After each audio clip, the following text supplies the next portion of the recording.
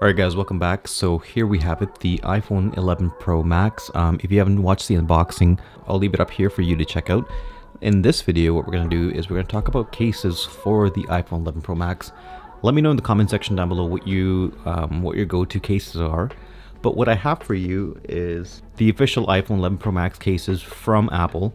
I have the black one, which I've already opened and I've been using it. And then also I just picked up the midnight green one or the pine green.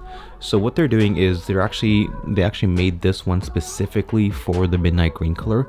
Um, I actually had this case ever since the midnight green was launched.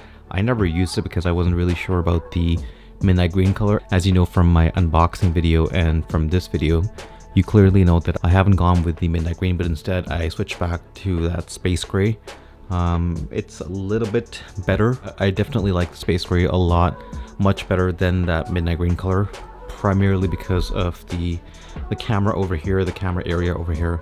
Um, that was one of the main factors that kind of made me switch back. The other one was a little bit too green for me but uh, definitely loving the space gray. So let's look at the the silicone case that's available at Apple. So here is that silicone case definitely a huge plus. I love this case. I've been using it for approximately two weeks now ever since this um, iPhone 11 Pro Max was launched I've had my phone in this case and honestly absolutely love it. So let's put this on, but before we go, let's quickly just jump in and see what it's like. So at the back, what you get is a very simple Apple logo. You get a cutout for your cameras, and um, unfortunately, they don't have like a special one where it covers the glass area of the camera, so only the the rings are showing. And I, I think it's another reason why they specifically made the cutout like this is when you're using the widescreen shots um, if you have one of those protectors I have a feeling it's going to block those shots. So for that reason they haven't done that. On the right side you get your dedicated button for Siri as well as a power button. This button or this um, piece that they've made is actually really really sturdy. Sometimes when I have to restart my phone or turn my phone on I find it really hard to use with this button because it's so strong um, that sometimes I feel like I'm actually pressing down on the button really hard in order for me to turn on my iPhone 11 Pro Max. So at the top, you don't see anything up here. Um, it's all covered. You get your volume rockers as well as your dedicated um, silent switch for the iPhone 11 Pro Max. Um, and at the bottom is kind of interesting because um, I thought they might have covered this, but they haven't. So it's a uncovered bottom.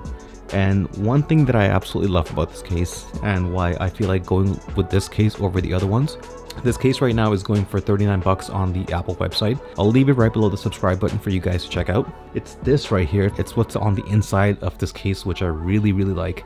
It's not a rubber case on the inside. It's this plush material, which actually prevents scratches on your phone. I have noticed that um, with other cases that have the rubberized backs inside, Sometimes what happens, it's happened to me several times, is where the dust particles get into the back of the case and after using it or dropping it, it actually scratches the glass. So for that reason, I definitely like this a lot. So let's pop this in and see how it's gonna be. So very simple and easy to install. Two snaps and here we go. Okay, super smooth. Um, I love this case because it has a really good grip factor. And I've actually um, used this with a magnet one of those like car magnets. Definitely a huge plus where where you're able to put this magnet inside over here put your iPhone inside and then use it as is.